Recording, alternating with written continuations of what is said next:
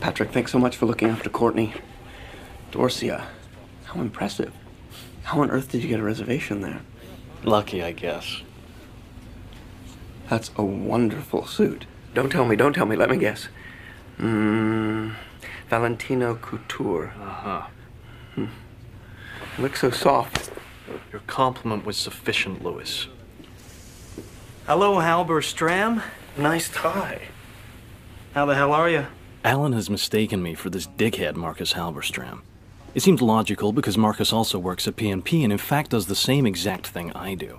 He also has a penchant for Valentino suits and Oliver Peoples glasses. Marcus and I even go to the same barber, although I have a slightly better haircut.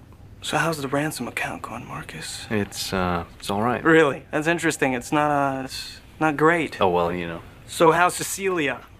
She's a great girl. Oh, yeah. I'm very lucky. Mm-hmm. Hey, Alan.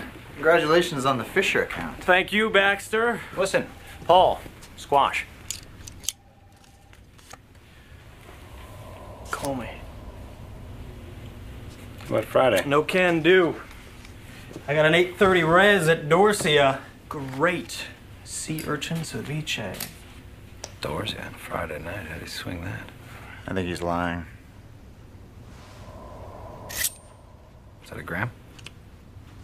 New card. What do you think? Whoa. Very nice. Look at that.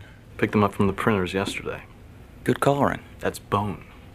And the lettering is something called Silian Rail. It's very cool, Bateman, but that's nothing. Look at this. That is really nice. Eggshell with Romalian type. What do you think?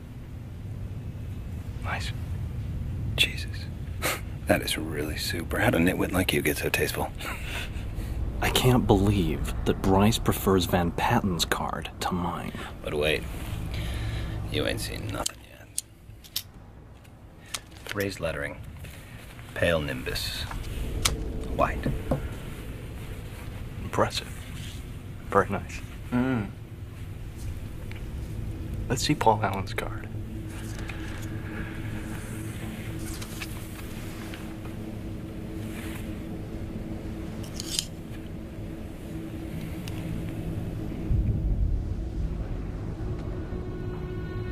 At that subtle off-white coloring.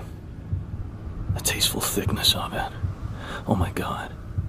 It even has a watermark.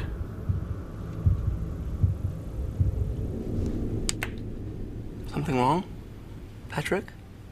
You're sweating.